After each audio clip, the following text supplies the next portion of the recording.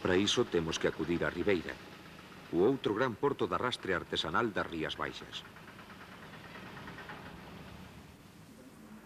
Ás 4 da mañá, nun dos escasos bares que seguen abertos, os cafés dos patróns e dos mariñeiros mestúranse cos whiskies dos trasnoitadores.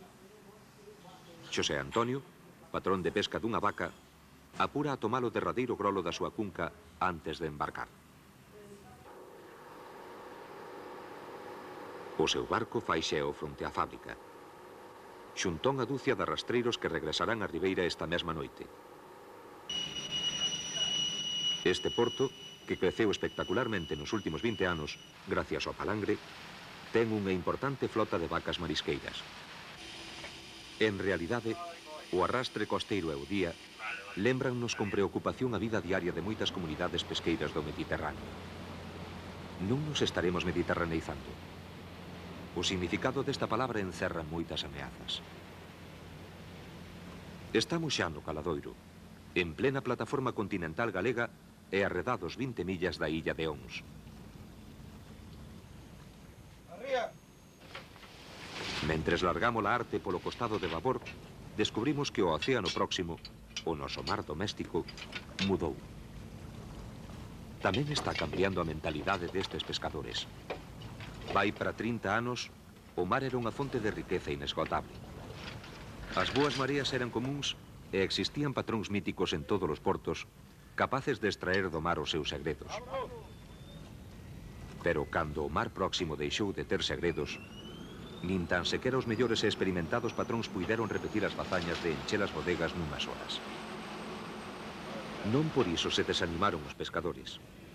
Aínda quedaban as pescas milagrosas, os golpes de fortuna que estaban á man de calquera.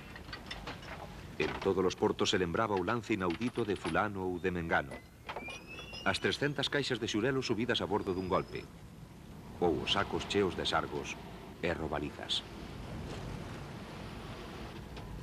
Estas pesqueiras coas que soñan todas as tripulacións estánse terminando. Atopámonos neste momento de desilusión. Cada vez parecémonos máis ao Mediterráneo, porque se sae cada día ao mar a collelo pouco que queda. A ración diaria que permite enchela suficientes caixas de peixe para ir tirando. Xa non son cazadores, son obreiros do mar que fichan cada día.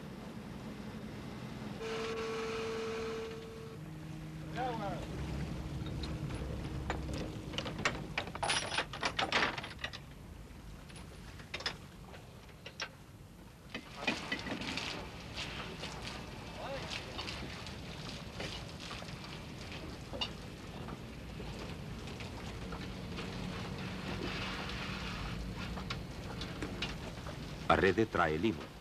E é bo sinal, porque quere dicir que traballou ben por onde crece a cigala.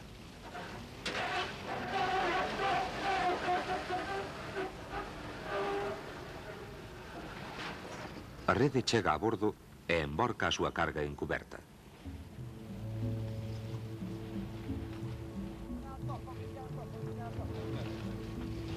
A rede volve ao mar e cae en fondos de 120 metros.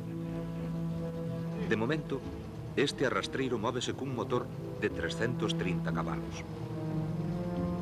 Pero xa está a chegar a moda mediterránea dos motores potentes, de ata 1000 cabalos, que compensan a escaseza do peixe cun aumento da velocidade e unha elevación da arte. Será o inicio do arrastre peláxico. Se todo o que vemos en col da coberta fose aproveitable, o rendemento da xornada sería moito maior. Pero vai parar o mar unha boa parte do lance. Entre outras cousas porque, como din os mariñeiros, ás veces ten máis valor a caixa de madeira cas especies que contén. A chegar un día en que todo sirva. E ese día pode estar próximo a non ser que protexamos entre todos o que é aínda un dos mellores criadeiros de pescada en Europa.